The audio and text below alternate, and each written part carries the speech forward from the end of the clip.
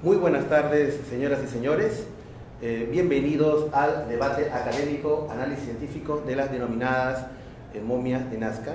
En realidad, tal como está planteado, este es un debate académico entre eh, las personas que el día de hoy, en la mañana, se han presentado en, en, una sala adjunta del Congreso de la República, a los cuales hemos invitado mediante cartas enviadas sus correos electrónicos de su WhatsApp a que concurran a este debate académico con respecto a un tema que es controversial, las denominadas momias humanoides de Nazca. Estamos, eh, estaban citados los señores Jaime Maussan de México, Thierry Yaman de Francia, eh, el equipo integrante de Gaia.com de los Estados Unidos, eh, y el periodista peruano Joyce Mantilla para que vengan aquí al evento. Estaban citados a las 5 de la tarde y bueno, hemos esperado durante, vamos a ver, en estos momentos son las 5 y 31, durante 31 minutos. Eh, no han venido, desconocemos las razones por las cuales han venido, pero nosotros entonces tenemos que empezar esta, que ya no sería debate, porque no tenemos a la otra parte, sino eh, vamos a hacer esta exposición científica. Eh, antes de presentar a los expositores, quiero decirles de que eh, quiero agradecer el nombramiento como moderador de este evento a la Asociación Peruana de Astrobiología, dirigido por el doctor en ciencias, el doctor Octavio Chong. Debo eh, glosar acerca de esta institución. La Asociación Peruana de Astrobiología es la primera institución peruana conformada por investigadores, estudiantes y divulgadores de astrobiología ASPAST se enorgullece de contar entre sus miembros con personas muy interesadas y comprometidas en pro de la investigación de esta disciplina en el Perú y su divulgación en el público interesado. Debo decirles, queridos amigos, que está aquí presente el directivo de esta asociación, el señor Iván Sergo Laura, al cual le pido un fuerte aplauso, por favor, que son los anfitriones. Muy bien. Eh, debo decirles que la disciplina de la astrobiología se considera en la actualidad como una de las disciplinas científicas de punta, tanto así eh, que hace poco acaba de eh, realizarse el cuarto Congreso de Astrobiología con la participación de científicos de la NASA organizado justamente por esta institución. debo pedir a todos los presentes, por favor, que por respeto a, a este evento académico apaguen sus celulares o por lo menos lo pongan en modo de avión. A continuación eh, voy a presentar a las personas que van a intervenir en esta exposición eh, científica sobre la denominada momia humano de, Nazca. Tenemos aquí al doctor eh, Flavio Estrada, a mi derecha, es arqueólogo, fundador del equipo forense especializado del Instituto de Medicina Legal y Ciencias Forenses del Ministerio Público. Además ha sido ex profesor de Antropología Física de la Universidad Nacional Mayor de San Marcos y de la Escuela de Arqueología de San Marcos. Luego vamos a tener aquí eh, en esta exposición al doctor Ernesto Ábalos, químico farmacéutico eh, de la Universidad Nacional Mayor de San Marcos y que fue una de las personas que intervino en el primer informe científico que fue solicitado al Instituto de Medicina Legal eh, a propósito por la Fiscalía de Nazca. Y luego tendremos al magíster Pedro Pérez, él es administrador de salud especializado en el tema de tomografías también del equipo del eh, Instituto de Medicina Legal del Ministerio Público. Y también quiero agradecer profundamente a las autoridades universitarias de la Universidad Nacional Mayor de San Marcos. Estamos acá en su hermoso campus universitario que nos ha prestado estas instalaciones para poder realizar este evento académico. A continuación voy a dejar en el, en el uso de la palabra al doctor Flavio Estrada, quien a partir de este momento va a dirigir la exposición que va, a tratar de ser eh, tanto para los presentes, a los cuales agradezco su presencia aquí, como eh, para el público que va a ver este video eh, acerca de este tema tan controversial de las momias, momias humanoides de Nazca. Antes, si me permite, doctor, quiero glosarles de que en realidad esta denominación de momias humanoides de Nazca está hablando de un lugar que no existe. La ciudad de Nazca no existe. Quiero ser claros, Nazca con Z no existe. Nazca en realidad se escribe con S y entonces cuando se habla de Nazca estamos hablando de repente de un lugar quizás fantasioso. Esto lo vamos a ver a continuación a través de las exposiciones científicas que van a realizar nuestros expositores. Adelante, por favor, por favor. Este, buenas tardes. Antes de comenzar, eh, yo quisiera pedirles que cojan un guante y se acerquen. ¿no? Vamos a conocer un poco más de anatomía humana. ¿no? Acérquense, por favor, sin miedo. Vamos a hacer un repaso anatómico, vamos a conocernos a nosotros mismos en nuestra forma final.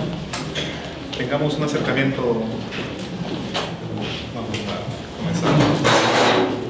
Si nunca han visto un esqueleto, va a ser la primera vez que la vean, va a ser una experiencia muy interesante.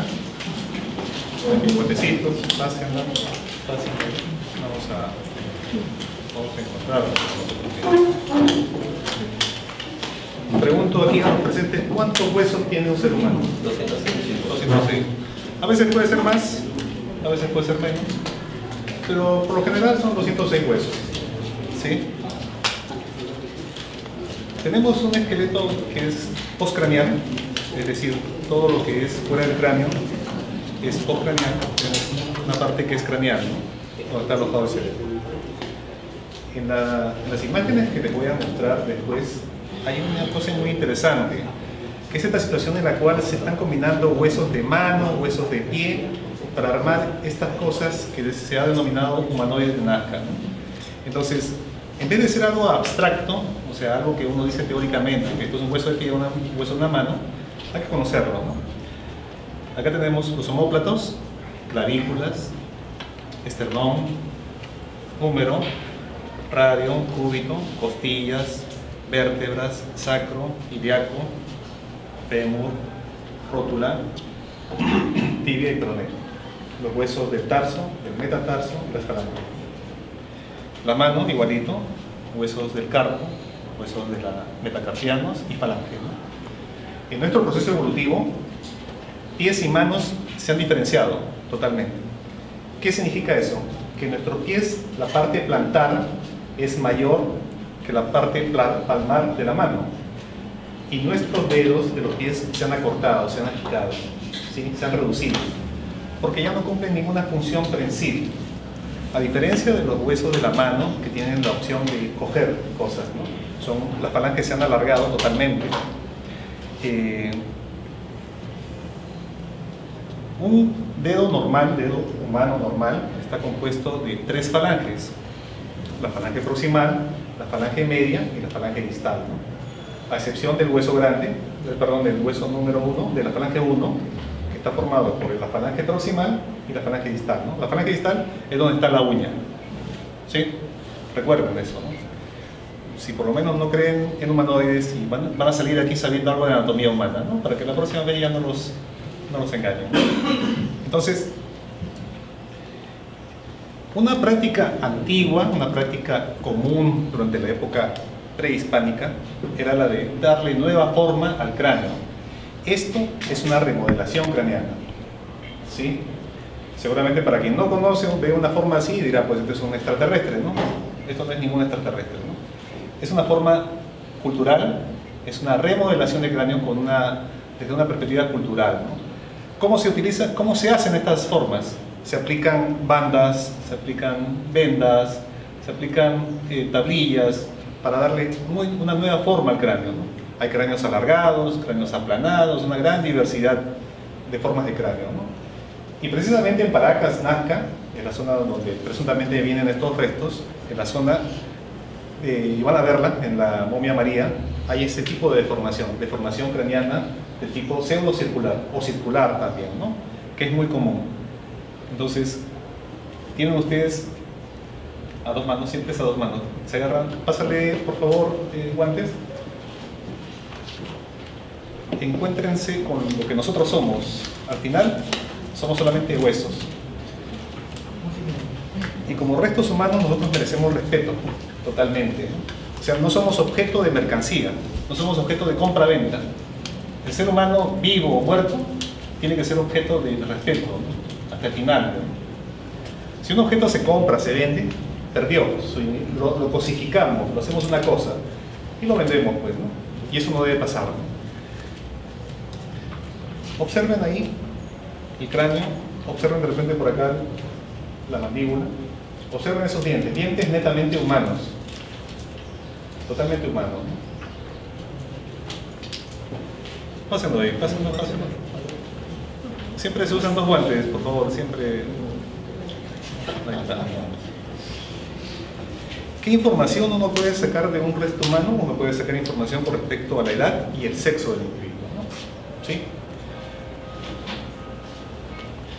Las patologías también son importantes indicadores del estado de salud de enfermedad de las personas. Nuestro cuerpo lo vamos modificando todos los días de nuestra vida. Al cargar nuestra mochila, al hacer cosas con la mano derecha y no con la izquierda, la vamos modificando totalmente. Un hueso vivo es un hueso que, cambia constantemente. Cuando nosotros morimos y nos descomponemos, quedan solamente los restos óseos, que son elementos duros, y pueden resistir cientos de años, miles de años. Entonces, esta parte es una parte introductoria, yo quiero que se fijen su interés en el cráneo, observenlo. No son cráneos extraterrestres, por más que ustedes lo hayan visto en, en películas, en videos y todo eso, son una diversidad de formas del cráneo, totalmente. Y es una deformación de tipo cultural. ¿no? Están presentes las suturas, sutura sagital, sutura coronal, la sutura escamosa, sutura landática, todo indicadores de, un ser humano. Este, pásate, pásame los cráneos de los animalitos.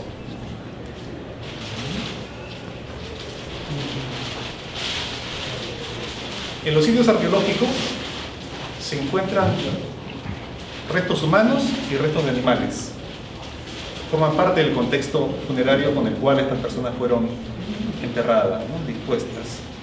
Sus familiares, amigos o vecinos dispusieron a estas personas de una manera ordenada, ¿no? los empardelaron, realizaron sus rituales y todo eso.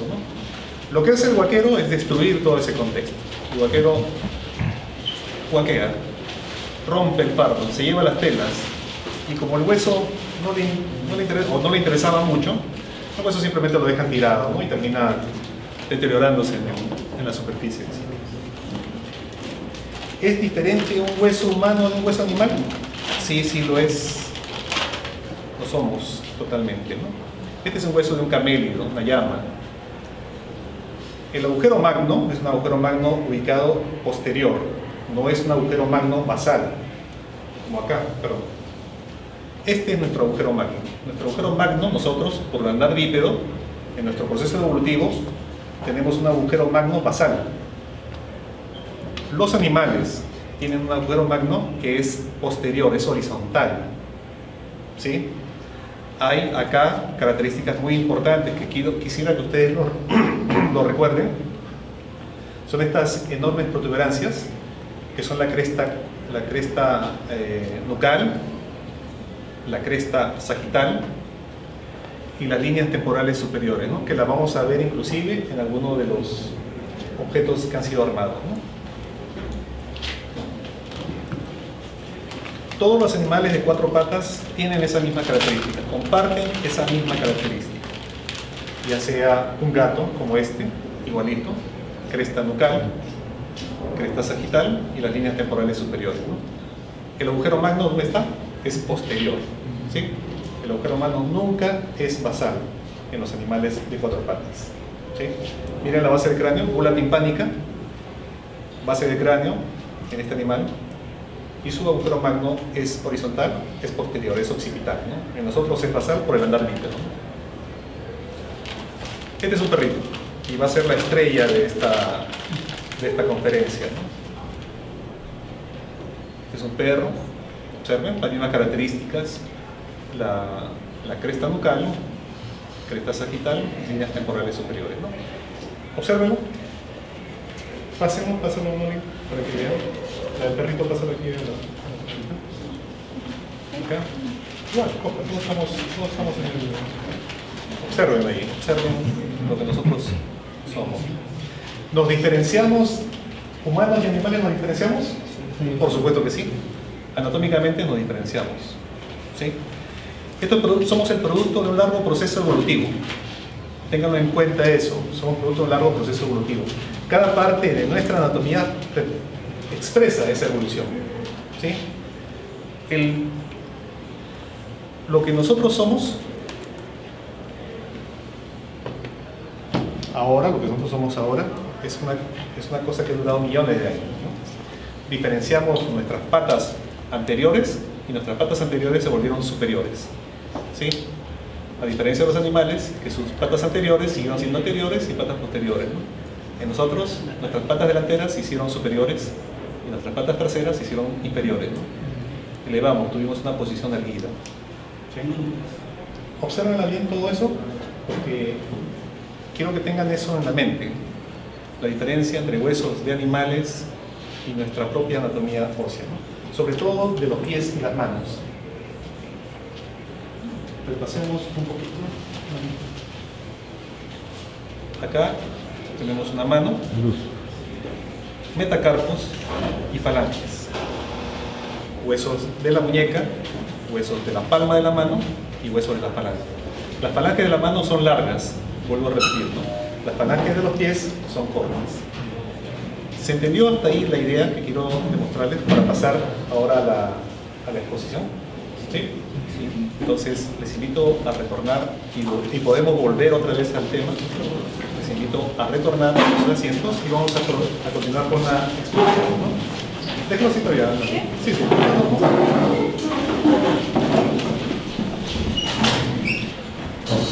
Hace algún tiempo, más de un año, tuve la oportunidad de, analizar unos restos o aparentes restos humanoides enviados por la Fiscalía de Nazca. Eh, estos están constituidos por esto que una cabeza de ese tipo. Como ya les expliqué, yo quisiera que ustedes reconozcan lo que hay acá, ¿no? Esta cresta.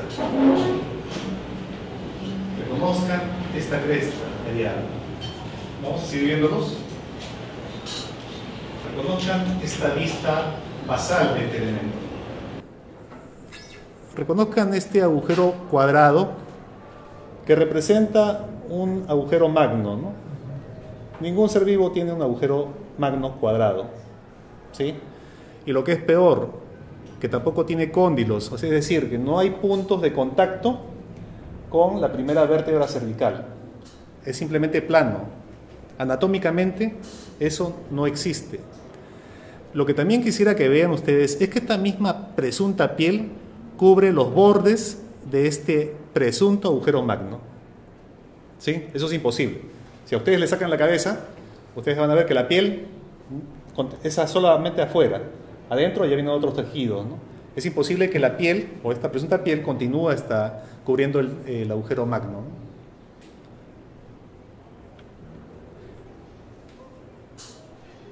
Ahí están todas las vistas de estos elementos que he podido analizar. Una vista lateral, pero como hasta ahí no sabíamos de qué trataba, lo que hicimos es radiografiar. Y las radiografías nos dan mucha información. ¿no? Vean el ojo, vean la boquita. La otra, el otro elemento es este de aquí. Un pequeño ser de forma humanoide, pequeño, unos 15 centímetros aproximadamente. Ahí pueden observar la cabeza, el cuello separado, la muestra 3, una mano. Estas son las radiografías. La radiografía que ustedes pueden observar acá evidencian que realmente adentro hay un, hay un hueso. Sí, hay un hueso efectivamente. Acá está el seno frontal de este animal. Acá está la cara de este armado, la cavidad craneana. ¿no? El borde nucal está acá. Ahí pueden apreciar muy bien. Nuevamente las radiografías. También se, estila hacer un estudio de anatomía comparada. ¿Qué significa eso? Eh, cogemos animales que se parecen a esta anatomía y la comparamos. Aquí hemos visto la sutura sagital, hemos visto el borde nucal y la comparamos. También se repite acá en este animalito, que es el perro que hemos visto acá en la mesa, se repite en este gato. ¿no? Todos los animales de cuatro patas lo tienen una vista superior, también las mismas características. Comparemos acá. ¿Dónde estaría el agujero magno de esta cabeza real? A ver, dígame. Que sea una conversación más que una exposición así rígida en la parte posterior. Este agujero, eh, agujero mayor, este es, no existe. Ha sido tallado en esta base del cráneo. De tal manera que el agujero magno se encuentra acá, en la cara del extraterrestre. Es decir, que la boquita del extraterrestre está justo encima del foramen magnum, que está acá. Y aquí sí es un foramen magnum real porque aquí están los cóndilos occipitales, ¿no? es decir, con las superficies articulares que van con la primera vértebra cervical. ¿sí? Mientras que acá no existe ningún punto de articulación para la vértebra. Ahí la pueden ver. ¿Sí? Comparen la, radiografía en el material comparativo. Esta es la bula timpánica. La bula timpánica. ¿Qué significa eso? Que el conducto auditivo está acá. Mientras que este objeto armado no tiene conducto auditivo. Simplemente no lo hicieron. No lo armaron el conducto auditivo. Aquí la podemos ver mejor. Vean acá el agujero magno está acá. Y el agujero magno está acá en el, elemento, ¿no? A nivel de la boca, justo, colocaron la boca del extraterrestre. El candidato más seguro a hacer eh, el, material sobre el cual fue hecho es un cánido.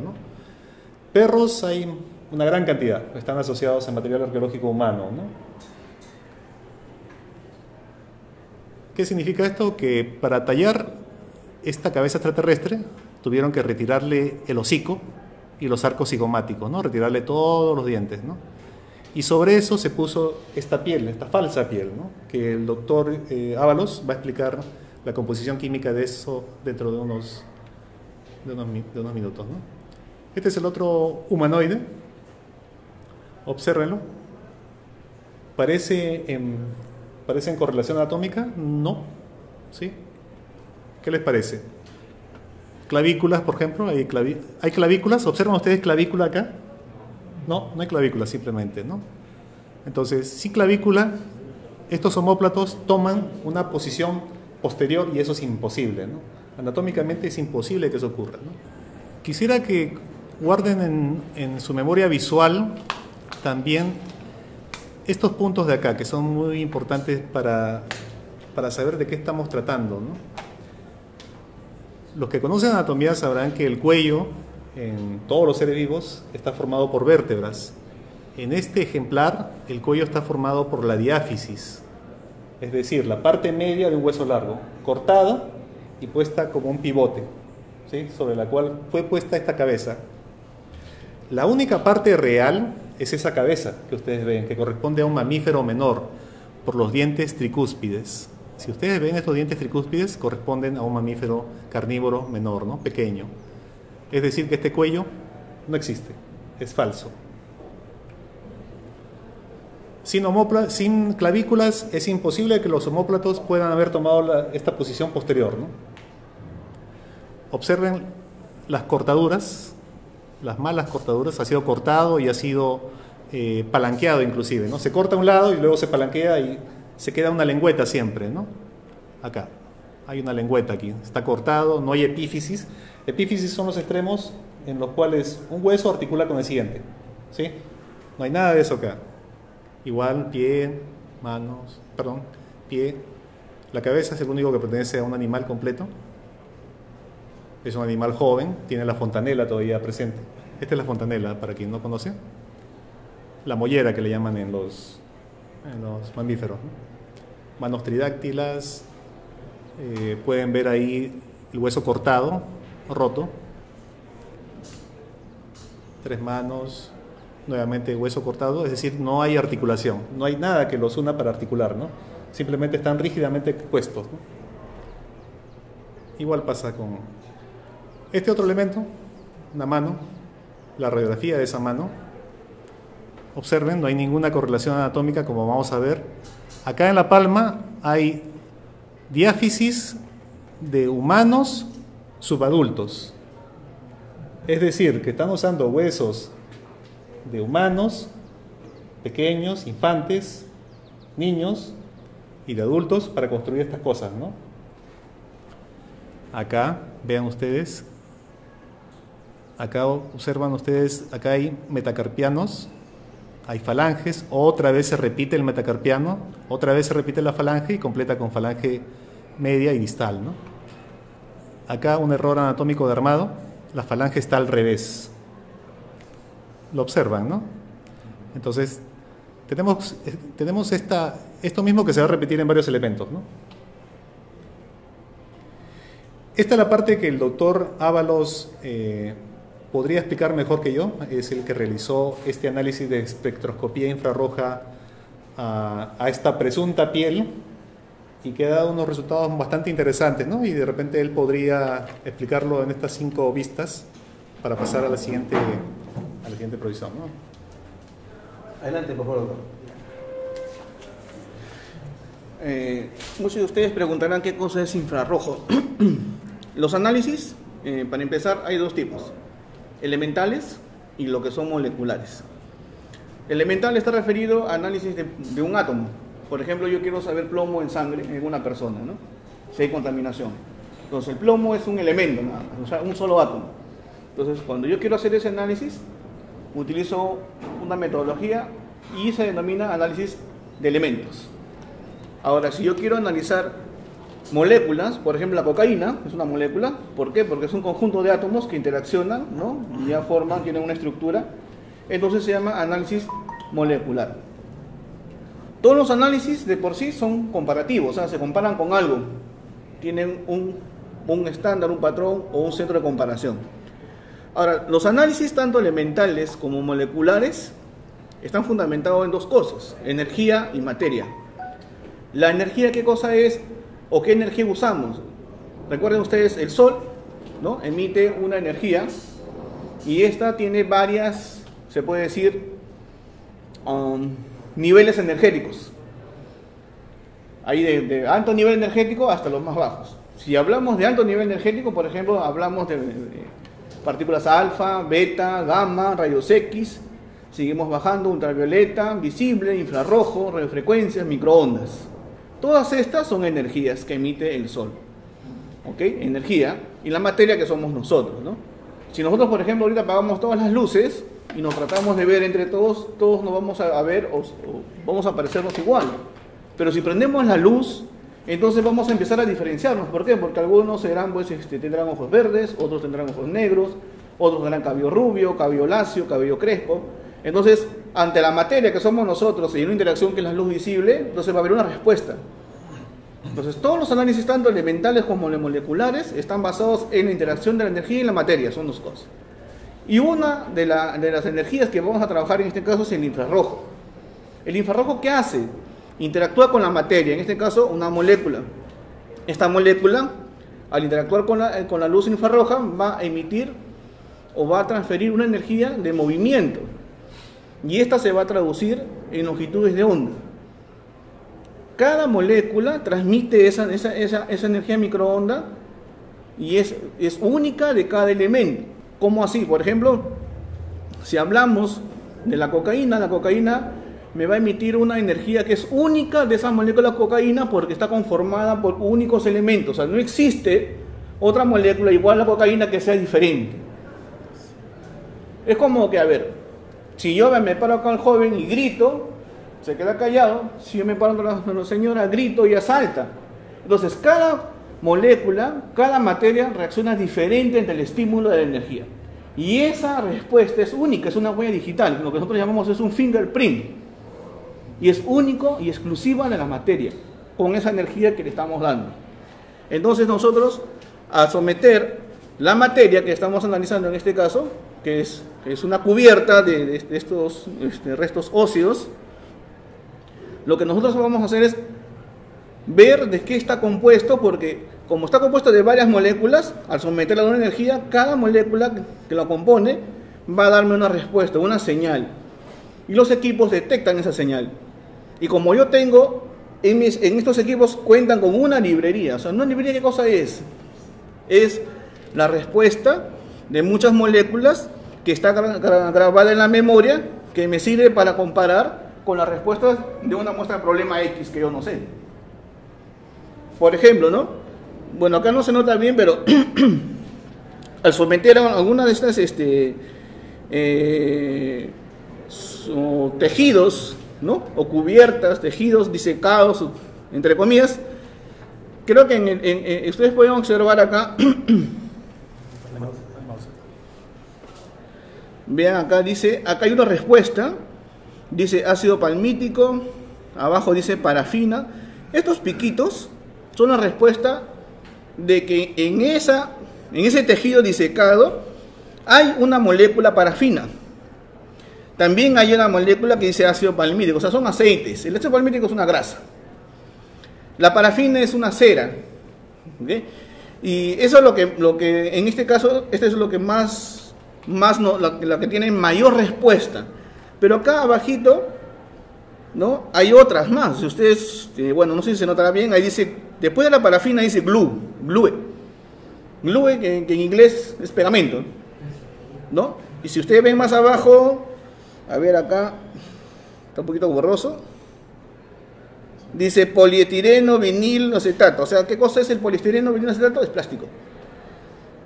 Y en sí, entonces, toda esa maraña, esa, esa cubierta, eh, es- son componentes actuales. O sea, no tiene nada de incaico, para empezar. O sea, nada prehispánico, brincaico, etcétera, como quieran llamar, de, de más de mil años de antigüedad, no es. Porque son componentes actuales. Segundo, un tejido, entre comillas, este, de un ser vivo, mm, no estaría compuesto por pegamentos, no estaría compuesto por un plástico, ¿no? Eh, por grasas, etcétera. O sea, esto es algo diseñado, o sea, algo creado en los, en los tiempos actuales, ¿no?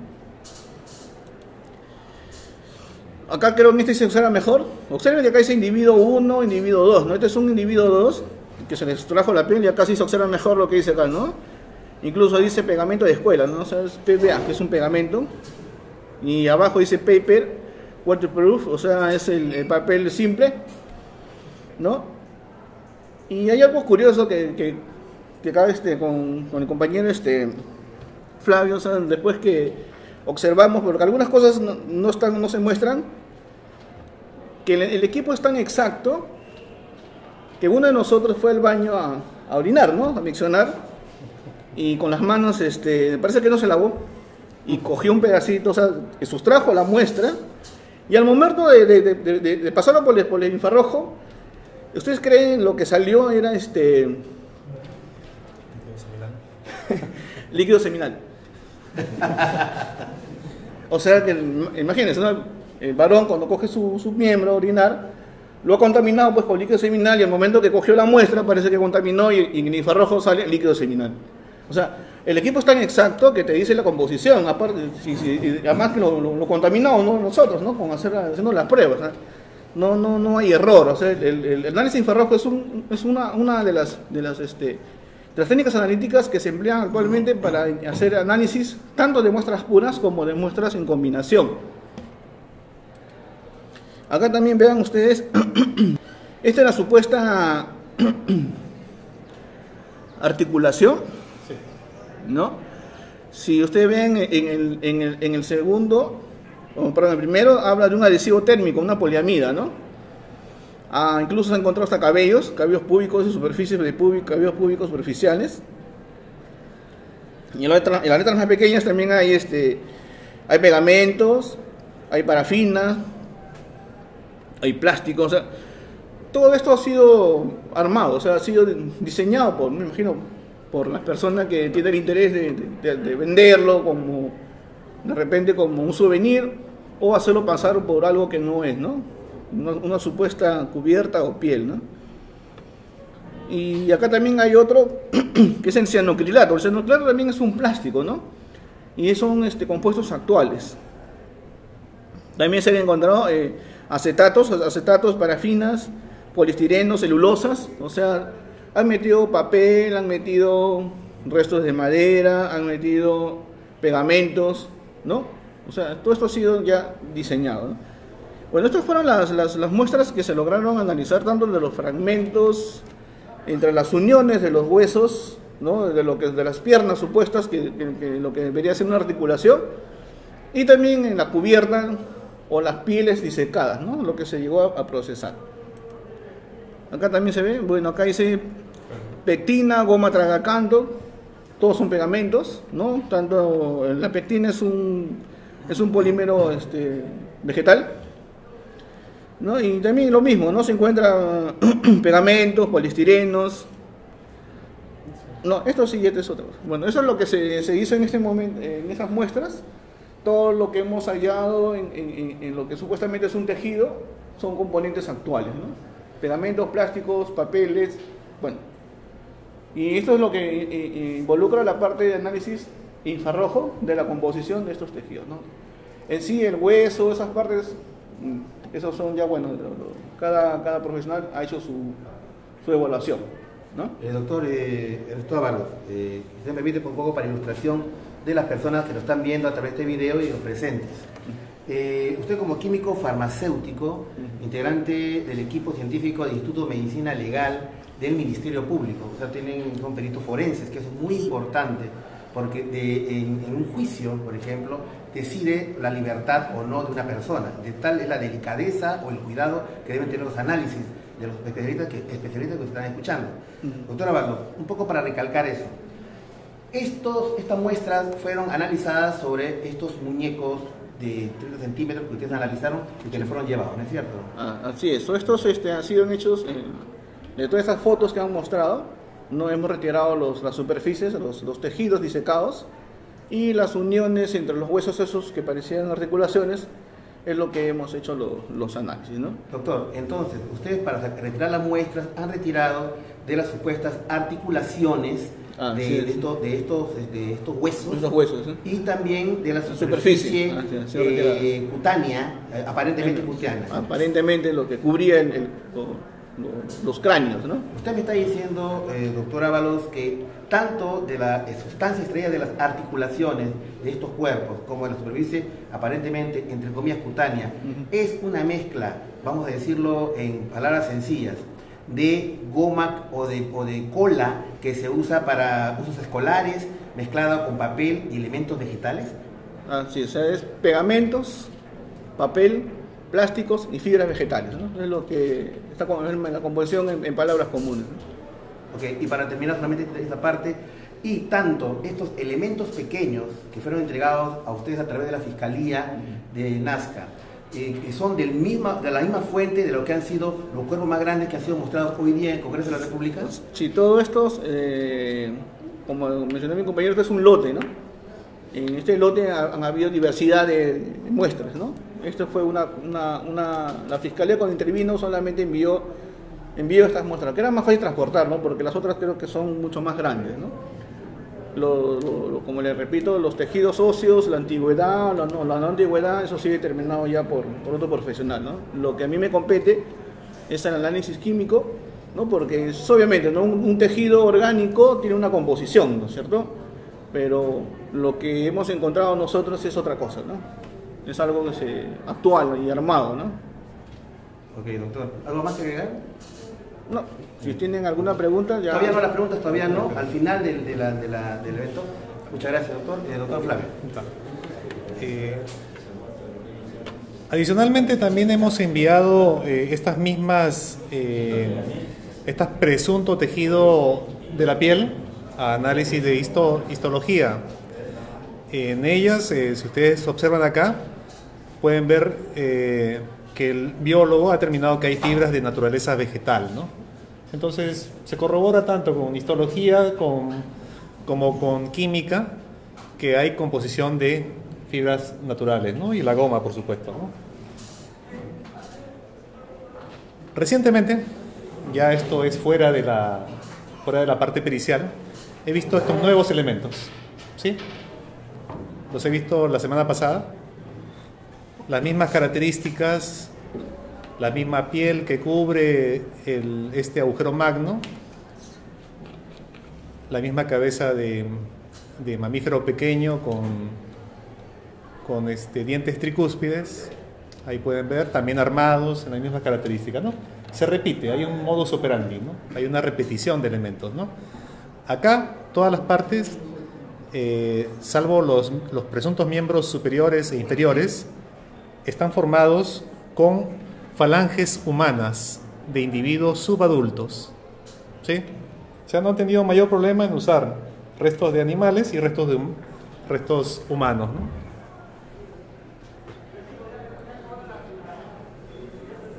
Este hueso de aquí es un cúbito humano también, y este de acá es un radio humano también. Falanges humanas, armadas, pegadas, como si fuesen un miembro superior, ¿no? Una mano también que vamos a ver las repetidas en toda la colección de, de Maussan. Otra mano igualita, enormes dedos con cinco o seis partes. Esto es lo que nos debe llamar la atención del tipo de profesionales que tiene eh, el equipo de Maussan. ¿no? Esta es una ficha técnica, una ficha taxonómica, es decir, que para el biólogo Cruz Ríos López, este individuo que hemos visto al inicio es un individuo vivo y lo ha clasificado taxonómicamente. O sea, este muñequito armado, para este biólogo, es un ser vivo, es un extraterrestre y le ha puesto nombre, ¿no? Y el nombre de este, de este ser es precisamente, perdón, Crawix homoplaturis. ¿Sí? Es una ficha taxonómica. Es decir, que este biólogo no sabe distinguir entre un ser vivo y un ser que nunca tuvo vida, ¿no? Bueno, salvo las partes que conforman esto, sí tuvieron vida alguna vez, ¿no? Pero este armado nunca tuvo vida, ¿no? Este pequeño Frankenstein nunca tuvo vida, ¿no? ¿Cuáles son las conclusiones con esto que hemos analizado? Que no son restos de presuntos alienígenas, ¿no? Son creaciones fabricadas con huesos de animales y humanos unidos con pegamento sintético y han sido cubiertos por esta mezcla de, de restos vegetales y adhesivos sintéticos para simular un tipo de piel. Se establece, por lo tanto, una manufactura de reciente data.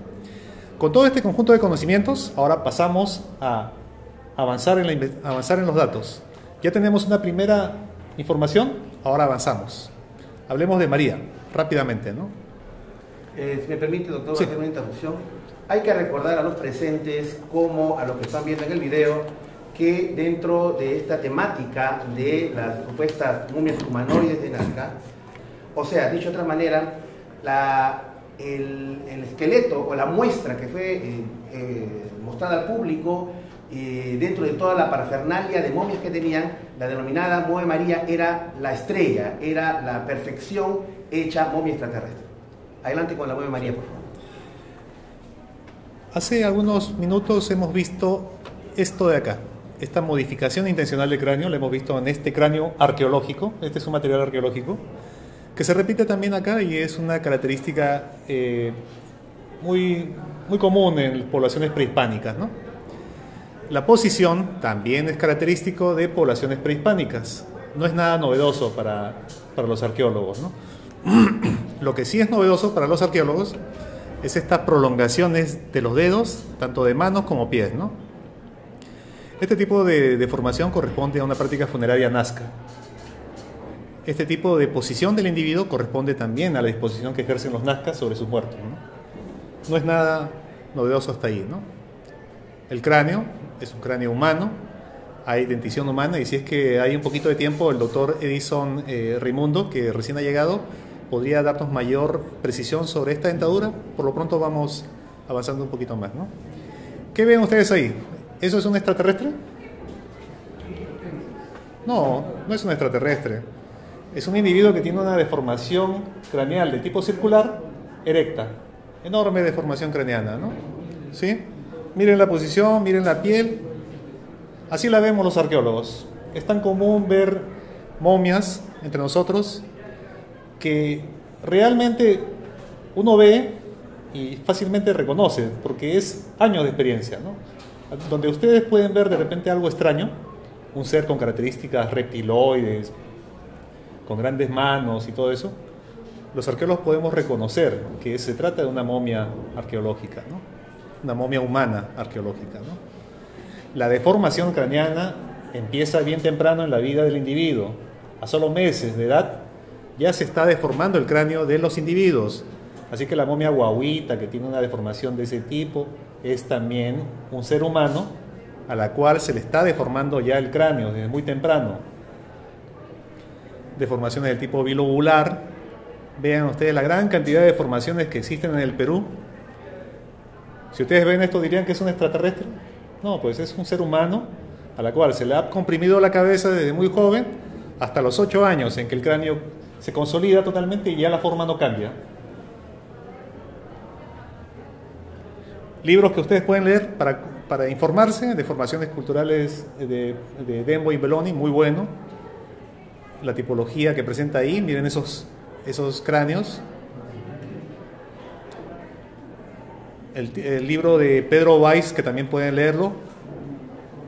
Miren ahí, el registro fotográfico de poblaciones actuales. Hay cráneos deformados también actualmente. Son con vendas, se producen con tablillas, se produce y en la selva peruana también. Deformación fronto-occipital. Es una práctica común. Volvamos otra vez a María, a ver a la pobre María. Miren este, este, esta fotografía de una momia, de una momia, ¿no? ¿Les parece conocido? ¿Se parece? Sí, se parece. Bastante la posición, todo. Esta es una radiografía, una, perdón, tomografía que me pasaron, muy, muy interesante. Fue hecha en el Hospital Regional del Cusco. Acá está. Y donde yo quisiera llamar la atención es en los pies y en este reborde que, aparentaba que los ojos de esta momia eran unos ojos enormes, ¿no? Que en esta tomografía, que la propia, que, el, que la presentación de la mañana fue presentada, no tiene esta protuberancia que se muestra al inicio, ¿no? Si ustedes recuerdan, vean esta protuberancia que rodea el ojo, ¿sí? No existe, o sea, no existe como un relieve óseo. Es decir, que, el, que la piel no puede tomar la forma que no existe, pues del hueso, ¿no? No existe en la tomografía. La otro que llama mucho la atención es esto de los pies. Vamos a verlo. Es decir, que en los pies de la momia María hay huesos de la mano. ¿Eso es posible? Eso es imposible en cualquier parte. No puede haber ese tipo de evolución, esa evolución no existe. ¿Me entienden? Son huesos del pie humanos en donde encontramos falanges de la mano. También falanges humanas. Y vamos a verlo. Acá. Por ejemplo, esta es una, foto es fotografía de una radiografía de, los pies de María, ya contrastada, ya preparada para, para ser visible. Y estos son los, las falanges, las primeras falanges de la mano colocadas en los pies. ¿Lo hemos visto? Hace un ratito lo hemos visto acá en este, en este resto humano arqueológico. De la momia María. De la momia María. Dedos de, de huesos de la mano, de la mano puestos en los pies. En los pies. ¿Con qué finalidad? Para darle esta prolongación a los dedos largos. ¿no? Para que sean, se vean largos. Se vean largos. Extraterrestres. Eh, así, así mismo. Adicionalmente, a los pies de María se le ha retirado los metacarpianos 1 y 5, de tal manera que aquí estamos viendo solo los metacarpianos 2, 3 y 4. ¿Se entiende la idea? ¿Sí? Hay demasiado espacio, es decir, acá es un espacio entre articul superficies articulares demasiado excesiva. Son como 9 a 1 centímetro, 9 milímetros a 1 centímetro de distancia. Entonces, para dar esa apariencia de grandes dedos prolongados, se le añadió, hicieron lo más simple, ¿no? añadieron falanges de la mano. Las primeras falanges de la mano las pusieron en los pies, ¿sí? Y luego completaron nuevamente las falanges con las mismas falanges del pie, ¿no? ¿Sí? Eso está bastante claro en las radiografías. Esta es la distancia que hay entre las superficies articulares de tarsos y metatarsianos. Esto no es natural, definitivamente. O sea, no es natural, anatómicamente no existe eso.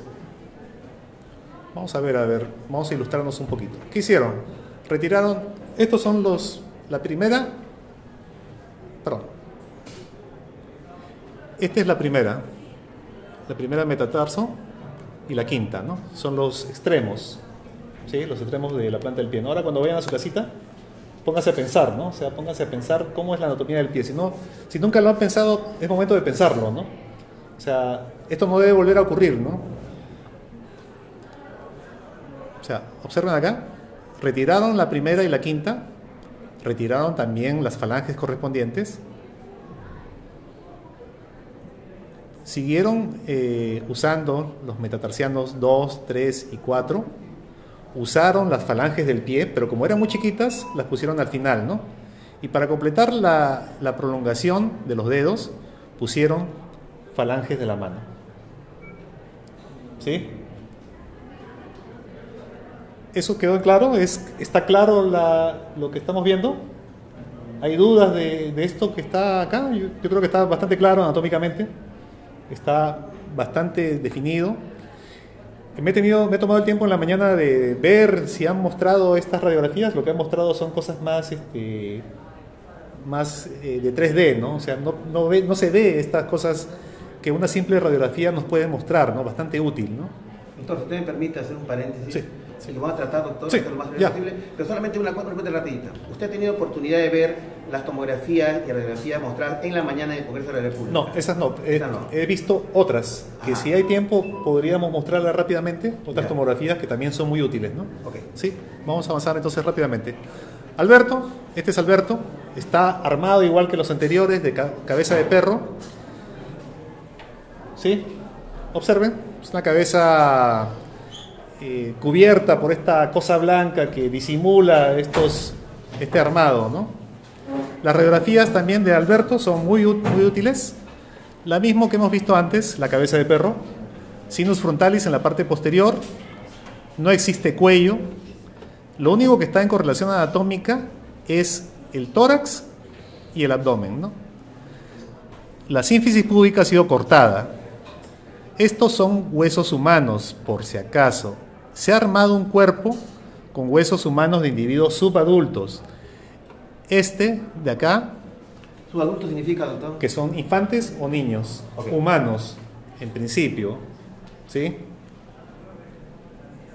Han puesto clavículas humanas y estos de acá que dan la apariencia de ser brazos son en realidad fémures. Se observa claramente, no hay articulación, simplemente han colocado un hueso a continuación de otro y han colocado una sustancia que los junta, ¿no? que los une. Nuevamente, falanges, de la, falanges humanas colocadas como falanges de este tridáctilo. ¿no? Vamos por Josefina, eh, la otra estrella de la- del grupo Maussan. ¿no? Josefina es la que tiene los tres, tres aparentes huevos. Nuevamente, Josefina tiene los brazos formados por tibias humanas de individuo subadulto. No hay cuello. La única parte que es anatómicamente correcta es el tórax y es el abdomen, que corresponden a un mamífero no humano. ¿Sí? Observen bien, inclusive aquí se notan las líneas de crecimiento. La unión de la epífisis con la diáfisis son las uniones de crecimiento.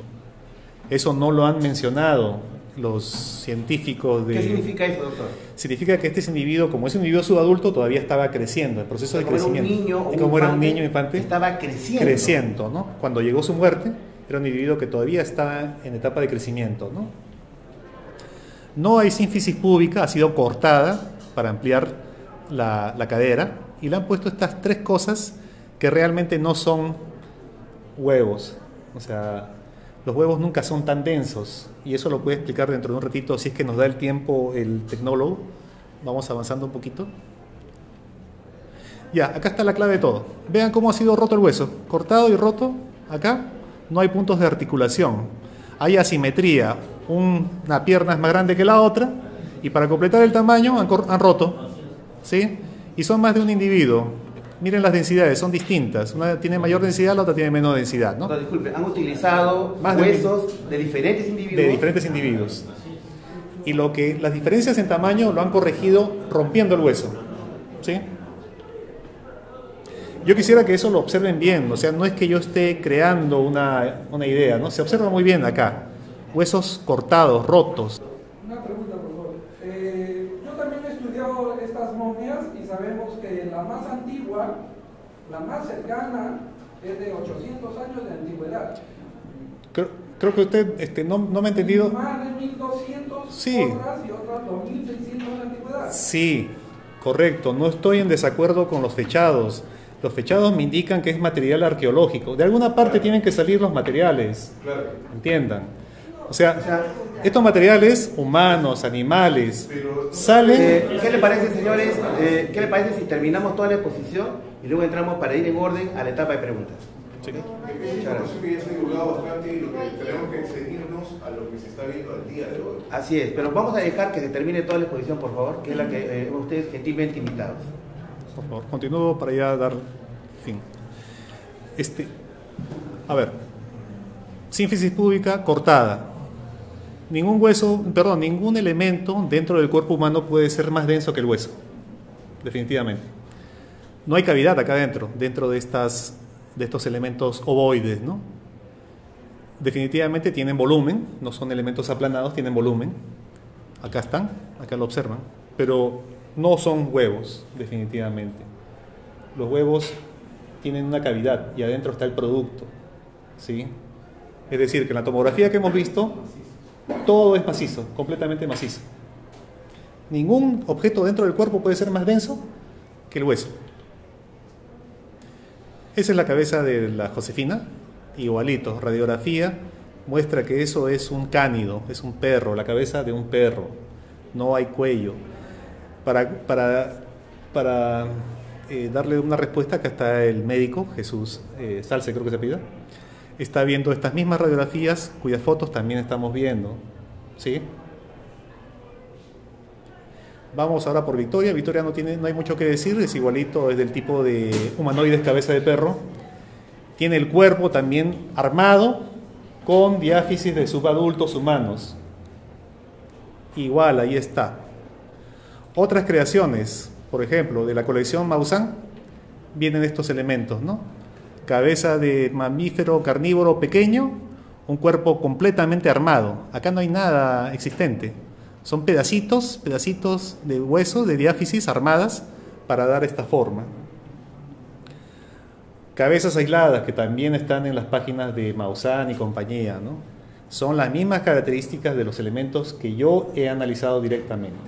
Ese conjunto de elementos que yo he analizado me permite saber estas características. ¿Me entienden? Esta es una muestra. Yo estoy no puedo tener el conjunto de elementos, pero con esta muestra que yo he analizado, puedo hablar de estas otras. ¿Sí? Eso es método científico, en cualquier parte, ¿no? Igualita, las mismas características son cabezas de perro, las radiografías así lo indican, ahí están. Es decir, que la cara de este extraterrestre está en la parte posterior de la cabeza del perro, como ya lo hemos explicado. Manos. Nuestras manos son así, perfectas, un producto de la evolución, de millones de años de evolución. ¿no? Cada punto articular es un, es un producto de la evolución. ¿Esto qué es? Esto es cualquier cosa. Nuevamente, diáfisis de individuos subadultos humanos colocados como palma de la mano, una mezcla de huesos del pie y de la mano, en lo que aparenta ser una mano tridáctila. Esta mano nunca funcionó, nunca existió. Vean ahí, nuevamente, húmero, cúbito, tibia, por acá otra tibia si mal no recuerdo, acá un cuerpo vertebral. ¿Qué hace un cuerpo vertebral en una mano? ¿Qué hace un hueso del pie en una mano? Ustedes, los que conocen anatomía, seguramente me darán la razón, los que no, seguramente creerán lo que diga Maussan, ¿no? Doctor, usted me está diciendo que en esta mano han puesto huesos de pie. Huesos del pie, efectivamente, y acá lo pueden corroborar ustedes. Lo hemos visto hace un ratito, precisamente les he mostrado a este individuo humano para que ustedes reconozcan cada parte de ese individuo humano. Es decir, que han usado huesos humanos, pero no están en los lugares correctos. Están ahí, mal armados. Falanges, se repiten las falanges, se repiten los metacarpianos, para impresionar seguramente le han puesto placas metálicas y las placas metálicas también son arqueológicas, respondiendo un poco a la pregunta que decían que tenían 1200 años de antigüedad. Sí, seguro, no lo dudo. Son materiales arqueológicos, de alguna parte han tenido que venir. Se le saca material, se le saca radiocarbono a todos, todos son arqueológicos, no hay duda. Nazca es un lugar donde existen cementerios y en los cementerios existe material óseo humano y existe material óseo animal. De alguna parte tienen que salir esos humanos. Doctor, si usted me permite, quiere decir que esto que estamos viendo ha sido hecho en su gran mayoría por elementos arqueológicos, por eso su antigüedad. Así es, ha sido, ha sido elaborados en la actualidad con elementos arqueológicos. Pero doctor, pero si esto es así, del punto de vista penal, están cometiendo un delito, porque Así están es. haciendo alteración de patrimonio arqueológico. Así que es. está penado en el Código Penal peruano y que todos los peruanos tenemos la obligación de defenderlos. Así es. Miren, miren acá este otro absurdo anatómico. Falanges colocadas en la palma de la mano. ¿sí? Tibia humana de un subadulto. Nuevamente, otra tibia humana subadulta colocada en la mano, en la presunta mano de este individuo. Las falanges, igual un absurdo anatómico, una mezcla de huesos del pie y de la mano. ¿no? Mano sin placa de metales, acá ya es la exquisitez de la aberración anatómica. Falanges, perdón, este, metacarpianos dentro de la palma de la mano. Eso es, una, eso es imposible anatómi- anatómicamente, no existe eso. ¿No sería funcional? No existe, simplemente, ni funcional ni existe. Eso es un contrasentido evolutivo. ¿no? Todos los huesos de ahí son humanos. Quiero que, que entiendan eso, son humanos. Finalmente, ya de tanto, de tanto hablar, este, los sitios arqueológicos son sitios que se depredan todos los, años. Eh, acá vemos un sitio arqueológico, de los muchos que he visto. Eh, hay huesos humanos, hay huesos animales. Nunca falta alguien que, que quiera hacerse millonario de la noche a la mañana. Parece que ya lo encontraron, ya hicieron ya el tema. Si antes vendían telas, antes vendían cerámica, hoy día venden restos humanos. A los arman de acuerdo como la gente quiera creer, ¿no? Sí. Conclusiones, vamos a conclusiones rápidas. Tipo 1 son cabezas. Este tipo 1 es este, humanoides con cabeza de perro. No me queda la menor duda que es un perro de este mundo, que es un perro de este planeta, es un canis familiaris, ¿no? El tipo 2 es la cabeza elaborada sobre el cráneo de un mamífero carnívoro pequeño. El esqueleto postcraneal está armado con diáfisis cortadas de mamíferos pequeños. Las manos son palmas armadas con diáfisis de huesos largos huesos adultos que se encuentran humanos, ¿ah? humanos siempre, todos son humanos. Dedos armados con metacarpos y metatarsos completadas con falanges las manos de humanos adultos. Bueno, María, ya habíamos visto, María tiene, tiene huesos de la mano en los pies, eso es imposible anatómicamente. La deformación craneana que tiene María es una deformación cultural, no es nada del otro, no es nada del otro mundo. Dense una vuelta a los museos, miren el Museo de Arqueología, Antropología de Pueblo Libre, vayan al Museo de Ica. Culturícense un poco, ¿no? O sea, no caigan tampoco en este juego, ¿no? O sea, hay que ver, hay que ampliar nuestra visión, ¿no? Es un cuerpo modificado humano, es decir, no es extraterrestre, no es intraterrestre, no es reptiliana, no es híbrida, es simplemente una Homo sapiens, nada más, ¿no? Quiero que lean esta última parte, lo, lleven a su casa, lo piensen, lo mediten, eso lo dijo Carl Sagan hace muchos años. No solo basta con creer, ¿no? O sea, eh, hipótesis extraordinarias requieren siempre de evidencias extraordinarias, ¿no? Cosa que aquí no hay, evidentemente, ¿no? ¿Sí?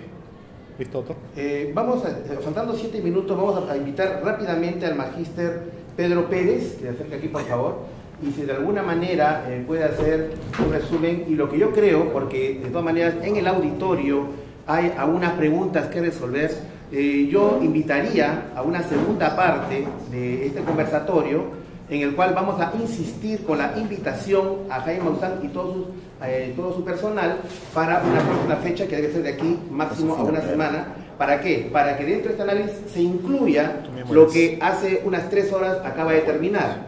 Los análisis realizados en el Perú, eh, presentados en el Congreso de la República. Así que yo, antes de, presentar al, al señor, al magíster Pedro Pérez, del Instituto de Medicina Legal del Ministerio Público, quiero invitarlos a una segunda parte de este conversatorio en el cual podremos resolver todas las preguntas, porque yo sé que en el, auditorio ha quedado más preguntas que respuestas, y lógicamente previa coordinación con las autoridades del, de la Universidad Nacional Mayor de San Marcos. Adelante, este, señor eh, Pedro Pérez. Muy buenas tardes. Eh, Rápidamente, no sé si podrían apagarme las luces, un favor, porque estas imágenes son... Bien, no, usted está- Tenemos, a, bueno, la primera momia que es Josefina. En este caso me tocó analizar estas imágenes por tomografía, ¿no? Bueno, si nosotros vemos, estas imágenes son cortes axiales. Si bien es cierto, esta estructura es ósea, ¿no? Porque digamos que la estructura ósea tiene una densidad, según las unidades Homefield, que son unidades de medida de tomografía, ¿no? La densidad agua tiene densidad cero, ¿no? La densidad metal, que en este caso vemos que Josefina presenta, como bien dicen, unos huevos, ¿no? ¿No? Que son de rebordes re- eh, circulares, aparentemente metálicos. Yo lo demuestro rápidamente con haciéndole, bueno, un zoom, esto, eh, ¿sí? Aquí tenemos las dos formas eh, circulares, ¿no?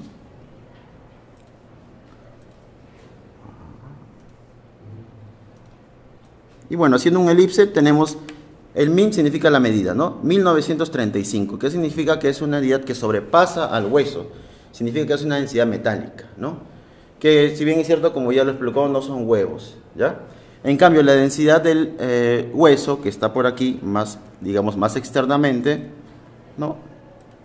Lo podemos corroborar, de 560. Esto significa que sí es densidad ósea, ¿ya? Más no lo que está... Voy a que le interrumpa rápidamente. Usted me dice que estos que son denominados huevos no son de, de material de hueso, sino de qué material son? metálico. Son metálicos. Sí. ¿Existen eh, ovíparos que puedan sacar huevos de metal No. en la naturaleza? Ok, adelante por favor. Tenemos luego, eh, viendo otra estructura eh, rápidamente, el- bueno, ya del, de Alberto, ¿no? De la, de la momia de- Quería ver de Alberto, creo. Si bien tenemos aquí. Si ustedes ven claramente, Alberto, ¿no? Ya. Aquí hay algo bien raro. ¿no?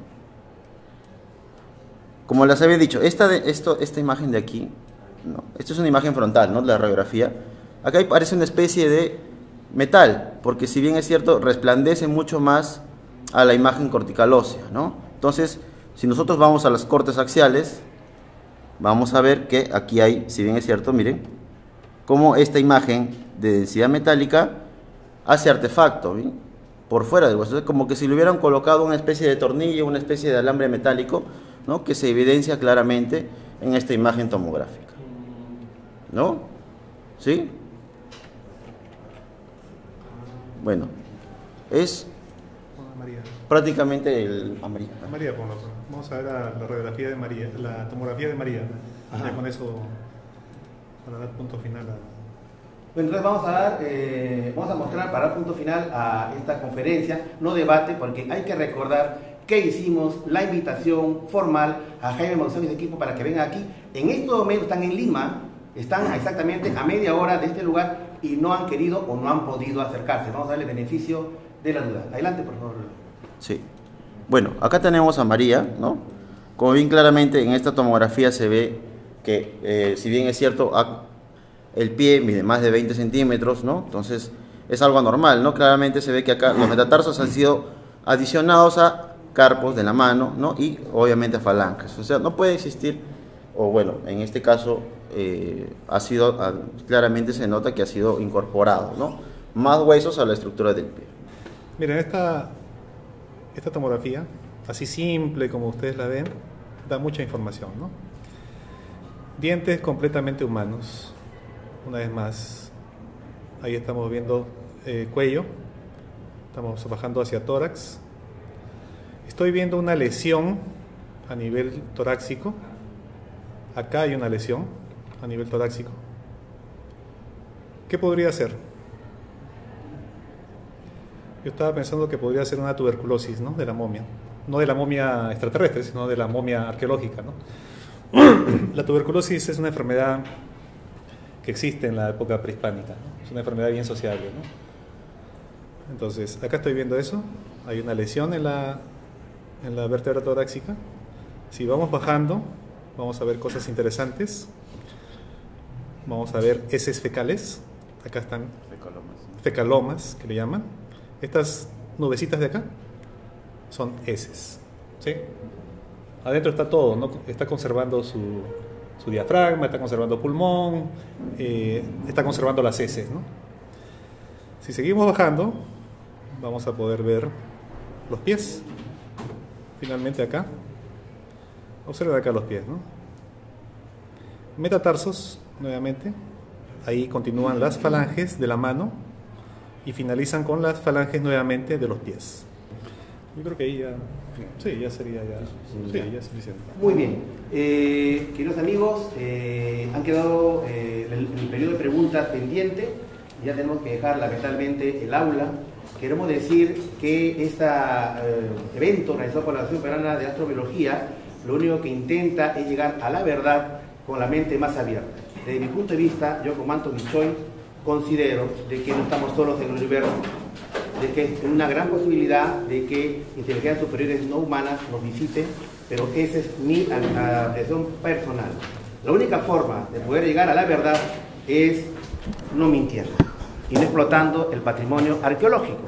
Es muy importante que se sepa, queridos amigos, que en los análisis de mucho de lo que ha visto aquí parte de los mismos cuerpos, las mismas tomografías y los mismos eh, rayos X que fueron utilizados por el equipo de Maussan en la primera presentación. Lo que sería ahora conveniente es, habiendo terminado hace tres horas o cuatro horas el evento, ese material vuelva a ser analizado por las autoridades eh, y comunidad científica peruana. Por eso hacemos una invocación a la comunidad científica peruana para que se sume a nosotros en este análisis.